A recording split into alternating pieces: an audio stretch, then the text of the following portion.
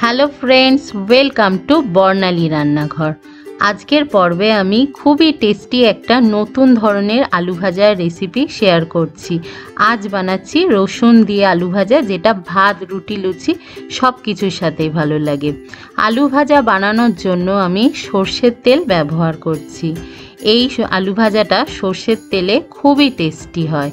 একঘেয়ে আলু ভাজা তো আমাদের খেয়ে খেয়ে আর সবসময় ভালো লাগে না, তাই মাঝে মাঝে একটু স্বাদ বদল করলে ভালো লাগে।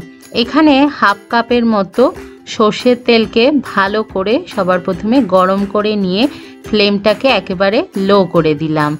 দুটো কাঁচা লঙ্কা আর তিনটে শুকনো লঙ্কা আর এক টেবিল স্পুন রসুন থেতো দিয়ে ফোড়ন দিয়ে দিলাম। খুব বেশি কিন্তু ওটা পোড়ানো যাবে না। দেখুন, হালকা ভাজা ভাজা হয়ে গেছে। এর মধ্যে আমি দিয়ে দিলাম ছটা বড় সাইজের আলু। লম্বা লম্বা করে আমি কেটে ধুয়ে নিয়ে নুন, হলুদ মাখিয়ে একটা ঝাঁঝরির মধ্যে রেখে দিয়েছিলাম।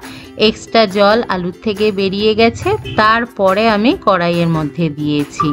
আলু ভাজা হতে কিন্তু খুব বেশি সময় লাগে না। পাঁচ সাত মিনিটের মধ্যেই হয়ে যায়। পাঁচ মিনিটের মতো নাড়াচাড়া করেছি। আলুটা কিন্তু এখন সফট হয়ে গেছে। কিন্তু এত তাড়াতাড়ি নামিয়ে নেব না। এটা একটু লাল লাল করে নিলাম। মিডিয়াম ফ্লেমেই আলু ভাজাটা আমি রান্না করছি। হাই ফ্লেমে করলে আবার পুড়ে যায়, ভেতরটা কাঁচা থাকে। আমাদের নতুন ধরনের আলু ভাজা রসুন ফোড়ন দিয়ে তৈরি হয়ে গেল। এটা আমি গরম ভাতের সাথে সার্ভ করেছি।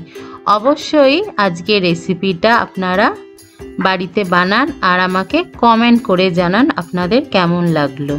দেখা হবে আবার পরের রেসিপির সাথে। সবাই ভালো থাকবেন। ভালো খান, সুস্থ থাকুন। বাই